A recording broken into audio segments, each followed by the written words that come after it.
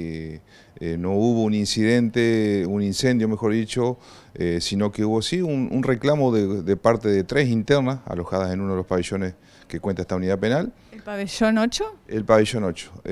a consecuencia vino el, reclamo porque ellas tienen un servicio de telefonía para recibir llamadas de parte de la familia y los las comunicaciones del exterior, ¿no?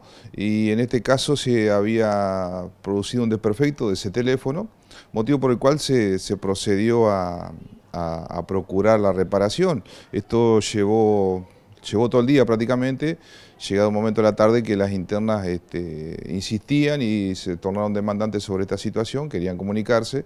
Eh, y tomaron la actitud de, de autoagredirse, provocándose unas heridas, digamos, ¿Son de Concordia ellas, del interior de la provincia o de qué otros lugares también? Es una interna aquí de la ciudad de Paraná y dos del interior de la provincia, sí, una de dos de Concordia exactamente. Se dice que hubo una quema de colchón.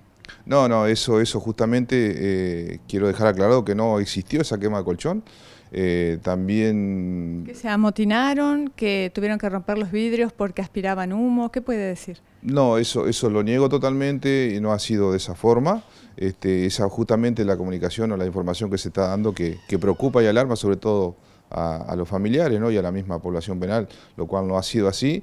Eh, también se recibió, llegaron los bomberos aquí a la puerta porque fueron este, convocados, pero no fueron este, llamados por la guardia de la unidad penal, ha sido un llamado anónimo, eh, los bomberos mismos pueden dar fe de esto porque los bomberos zapadores, puerto que eh, llegaron hasta la puerta y, se volvieron porque no se dio la, situación. Decían que habían apagado con baldes aquí las agentes el incendio del colchón. No, no. fue necesaria la intervención de los bomberos zapadores. No, no, vuelvo a reiterarles, no hubo este, la, situación de incendio en este caso, no hubo ningún foco ígneo que, haya tenido que, acentuarse, ¿no? que atacarse en este caso.